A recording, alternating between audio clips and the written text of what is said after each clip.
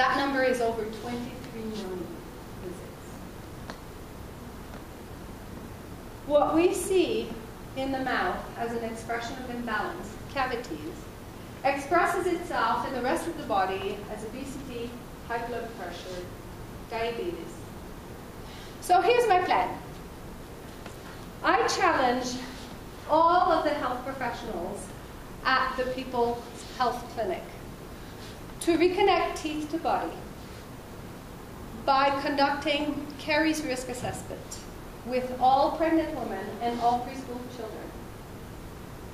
Working together, we can play a role in tipping the balance in favor of health.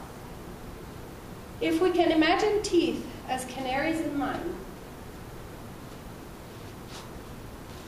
and are willing to become immediately at the earliest signs of caries, even in the absence of any other sign of disease in the rest of the body. Intervening early to help people rebalance will help improve health, not only prevent tooth decay.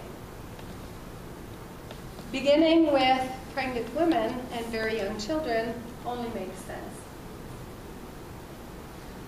We may be surprised to find out in time that if we are willing to put teeth first in health, we will begin to see many human bodies finding a natural